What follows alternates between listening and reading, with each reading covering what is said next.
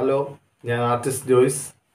അപ്പം ഒത്തിരി പേരുടെ ഒരു സംശയമാണ് ഒരു നല്ല കണ്ണ് എങ്ങനെ വരച്ചെടുക്കാം? അപ്പം നമുക്ക് ഇന്നത്തെ വീഡിയോ കണ്ണിനെ കുറിച്ചാണ് അപ്പോൾ ഒരു കണ്ണ് നല്ല ഭംഗിയായിട്ട് വരയ്ക്കാൻ ഒരു നല്ല അടിപൊളി ഒരു കണ്ണ് വരയ്ക്കാൻ എന്തൊക്കെയാണ് നമ്മൾ ചെയ്യേണ്ടത്? അത് പെൻസിൽ ഡ്രോയിങ് രീതിയിൽ ഞാൻ നിങ്ങൾക്ക് കാണിച്ചു തരുവാണ്. അപ്പോൾ നമുക്ക് വീഡിയോയിലോട്ട് പോകാം വീഡിയോയിലോട്ട് പോകുന്നതിന് മുമ്പ് ഈ ചാനൽ ആദ്യമായിട്ട് കാണുന്നവർ സബ്സ്ക്രൈബ് ചെയ്തിട്ടില്ലെങ്കിൽ ഒന്ന് സബ്സ്ക്രൈബ് ചെയ്യുക ലൈക്ക് ചെയ്യുക.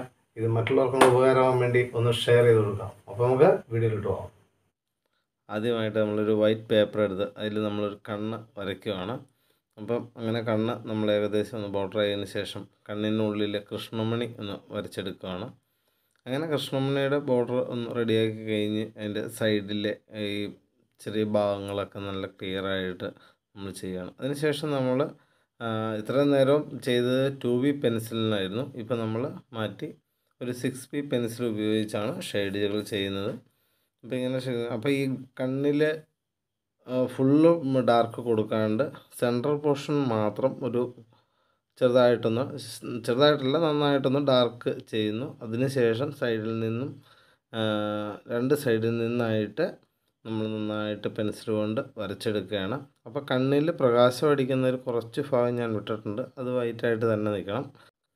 അതങ്ങനെ വൈറ്റായിട്ട് നിർത്തിക്കൊണ്ട് നമ്മൾ ചുറ്റിനും നന്നായിട്ട് ചെയ്ത് അപ്പം നല്ല ഡാർക്കായി വരുന്നുണ്ട്. അതിന് ശേഷം നമ്മൾ അതിന്റെ ടോപ്പ് വശം കണ്ണിന്റെ ടോപ്പ് വശം നന്നായിട്ടൊന്ന് മാർക്ക് ചെയ്ത് എല്ലായിടവും ഒന്നോടെ ഒന്ന് ഡാർക്കാക്കുവാണ് നമുക്ക് ഡാർക്ക് എന്തോരം വേണം അതിനനുസരിച്ച് ചെയ്യുകയാണ് അത് കഴിഞ്ഞ് ബ്ലെൻഡിങ് സ്റ്റിക്ക് ഉപയോഗിച്ച് നമ്മളതൊന്ന് ചെറുക്കുവാണ് കണ്ണിന്റെ ഉള്ളിലെ വെള്ള എല്ലാവർക്കും വിട്ടുപോകുന്നൊരു സംഭവമാണ്. അത് പ്യൂർ വൈറ്റായിട്ട് നമുക്ക് ഫീൽ ചെയ്യുന്നുണ്ടെങ്കിലും അതിന് ലൈറ്റ് ആൻഡ് ഷാഡോയുടെ ഒരു ഇത് വരുന്നുണ്ട്. അപ്പം അതനുസരിച്ച് വേണം നമ്മൾ പെൻസിൽ ഡ്രോയിങ് ചെയ്യുമ്പോൾ.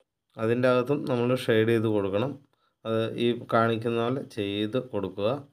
അതിനുശേഷം അതിന്റെ മുകളിലൊരു ലെയർ വരുന്നുണ്ട് നമ്മുടെ കണ്ണിന്റെ മോൾ ഭാഗത്തായിട്ട്. അവിടെ ഒന്ന് ശരിക്കും ഒന്ന് ഡാർക്ക് ചെയ്തിട്ട് ബ്ലഡ് സ്റ്റിക്ക് ഉപയോഗിച്ച് അങ്ങോട്ടും ഇങ്ങോട്ടും നന്നായിട്ടൊന്ന് അതൊന്ന് ഷെയ്ഡ് ചെയ്ത് കൊടുക്കുന്നത് അതുപോലെ കണ്ണിന്റെ അടിഭാഗം കണ്ണിന്റെ അടിഭാഗം ചെയ്യുമ്പോഴാണേലും പെൻസിൽ നല്ല നീളത്തിൽ തന്നെ പിടിച്ചുകൊണ്ട് ചുറ്റിനും ആ കണ്ണിന്റെ ആകൃതിയിൽ തന്നെ വരച്ചിട്ട് വേണം നമ്മൾ ചെയ്യാൻ.